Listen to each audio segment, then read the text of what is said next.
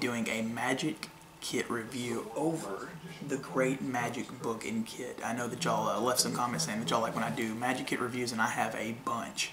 So, because uh, I collect them like I said. But before I do that, I'm going to go ahead and show y'all one of my favorite sideshow tricks that I picked up a while back ago. It's the uh, mystery of the balancing nail puzzle.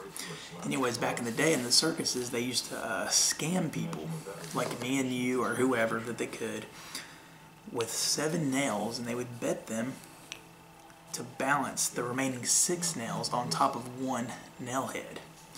Okay? So in order to show y'all this, it's pretty much going to reveal it too, but it's not really so much as a trick as just like I said, it's just a sideshow, so it's not really that big of a deal. So anyways, they would take the nail just like this and they would place it in the middle of the wood and they would ask, tell the people to balance these nails on top of the nail head, okay?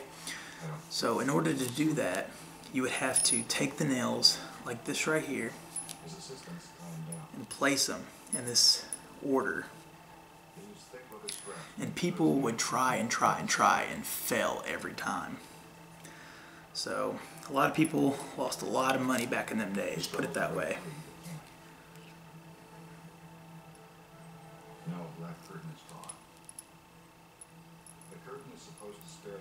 So essentially you're going to end up with something like this, okay? And then you would pick up the nails just like this, okay? And then you would balance them. And that's how they would scan you. So that's the actual trick. With all the nails balanced on top of one nail. If y'all can see that, look at that. And like I said, they would scam people all the time. People would try to figure out how to do this, how to balance all these nails. I remember whenever I first uh, was doing this, I, I, gave up. I had to end up looking at the instructions because like I just, I was fooling around with it. And I tried and tried and I just couldn't do it. I was sitting there just like stacking them and like doing all kinds of nonsense and it was just really funny. But anyways, this right here is a really cool trick that I found uh, while I was out one day with my girlfriend. I hope y'all kind of enjoy this. It's the nail, the nail balancing puzzle illusion. It's really cool. Hope y'all liked it. And on with the Magic Kit review. Hey everyone, so today I'm going to be reviewing the Great Magic Book and Kit. So I picked this up at Hastings as a collector's item about uh, a couple months back ago. And uh, it only cost me like 10 bucks. So I know Hastings is going out of business, but I'm sure you can find this online pretty easy. I mean, you can find almost anything on Amazon. So that being said, on with the review. So inside, it doesn't have a lot, but like I said, it's only 10 bucks. So I mean, you can't really beat it, but it does have a see-through silk. I find this to a very advantage because uh, you can do like coin tricks, like some melting, like the coin melting to the silk or whatever, and then the spectators can see the coin at all times. So I find that very cool. And some other advanced tricks that you can do that it's more powerful because they can see the coin through here. So that's a pretty cool little scarf. Um, it also comes with a coin to practicing coin magic. It's got a little bunny rabbit on it, bunny rabbit on it, so I think that's kind of neat. It's very light, easy to practice your slides if you want. So I mean, it's not nothing too bad. I mean, you can just, just like that. So yeah, you practice your slides.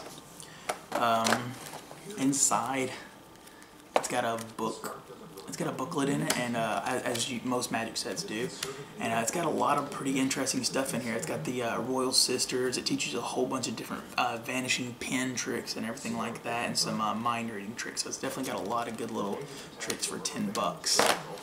Uh, it comes with magician gloves. Haven't seen this in too many magic kits at all, actually. It comes with white, mime-looking magician gloves. So these are actually not that bad if it's your thing. They're actually really soft. So I find that kind of really cool that they they actually came with gloves. So that's kind of neat.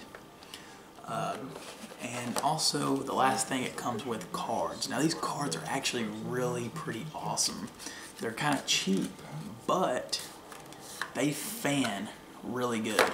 So they uh, they handle like really, really good. I mean, you won't have any issues out of these cards. I mean, like I said, they do pretty nice things. These right here are a little bit worn out because I liked them so much that I actually played with them a lot, to be honest with you. I practiced a lot with these because they handled so well. They made really great fans. Now I done got them all oily and greasy and stuff, so besides the point. These cards actually remind me of um, these aces. Now these aces are really good cards. If you ever get a chance, pick these up. Not the little cheap plastic ones, but these right here, the Ace Authentics. These are really, really good cards. And I mean, like, whenever these things were new, they fanned and did all kinds of nice stuff. Like, great. These cards handle so well when it comes to fanning, flourishes, anything of that nature. But like I said, I've done wore these things out, so they're kind of clumpy now. Anyways, I hope y'all like this review. It's not that much of a big, big magic kit, but it's still pretty cool and something to add to your collection if you're interested. Anyways, see you later.